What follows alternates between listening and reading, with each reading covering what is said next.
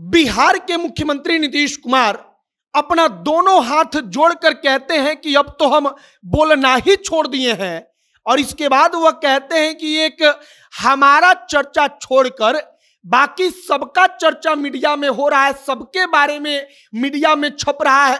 और इस बार वो बीजेपी को नहीं, बल्कि राष्ट्रीय जनता दल और तेजस्वी यादव को कहते हैं। वह कहते हैं कि कोई भी काम होता है तो पार्टी को याद कर कह रही है कि ये हम करवा दिए तो आप क्रेडिट मत लिया कीजिए आप कहिए कि राज्य सरकार ने करवाया है।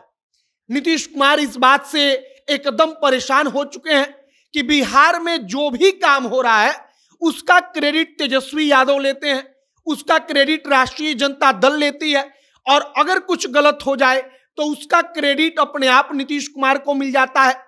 और नीतीश कुमार यही बात खुलकर कहते हैं कि एकदम कोई मंत्री क्रेडिट ना ले कि इस काम को हमने कराया है, बल्कि क्रेडिट अगर देना है तो राज्य की सरकार को दे, और वह कहे कि राज्य की सरकार ने यह काम करा दिया। नीतीश कुमार एक प्रकार से इशारे इशारे में तेजस्वी यादव को समझाते हैं कि अब भी संभल जाइए, अपने नेताओं को कहिए कि कम से कम नीतीश कुमार मुख्यमंत्री हैं तो सारा का सारा क्रेडिट हर काम का केवल तेजस्वी यादव को ना दे दें या आरजेडी को ना दे दें। आगे आपको पूरी खबर बताएँगे कि क्या कुछ हुआ। बाकी नमस्कार, मेरा नाम है मोहित कुमार सिंह और आप जनता जंक्शन देख रहे हैं। मुख्यमंत्री नीतीश कुमार अपने नेता के सहारे बोलना शुरू करते हैं और उसके बाद निशाना साधते हैं राष्ट्रीय जनता दल पर। वह कहते हैं कि अगर कोई काम होता है तो वह काम राज्य की सरकार कराती है, ना कि कोई एक मंत्री करा देता है।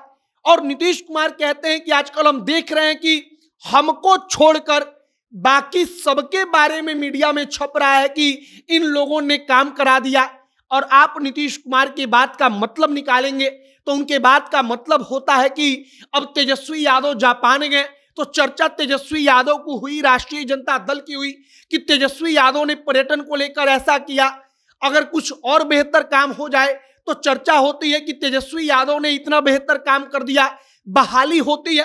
तब चर्चा होता है कि तेजस्वी यादव ने सरकार में आकर रोज़गार देना, नौकरी बांटना शुरू कर दिया।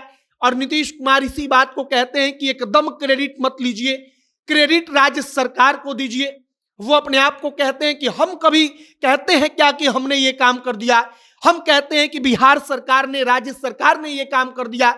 वैसे ही आप लोग भी पार्टी को क्रेडिट मत दीजिए। तेजस्वी यादव या कोई भी मंत्री क्रेडिट ना ले, अपने नेता को क्रेडिट मत दीजिए, बल्कि राज्य की सरकार को क्रेडिट दीजिए। अब नीतीश कुमार मीडिया को कहते हैं कि हाथ जोड़कर कि हम तो अब बोलना ही छोड़ दिए हैं, क्योंकि हम कुछ भी करेंगे, कुछ भी बोलेंगे, हमारे बारे में नहीं कहा जाएगा, हमारे बारे में मीडिया में नहीं छपेगा, और दूसरे के बारे में खूब छपेगा।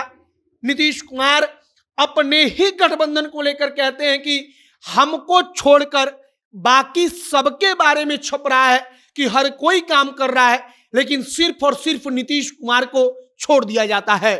नीतीश कुमार शायद अपनी विवशता को दिखा रहे हैं, बता रहे हैं कि देखिए, कोई भी काम हो रहा है तो क्रेडिट अकेले तेजस्वी लेते हैं।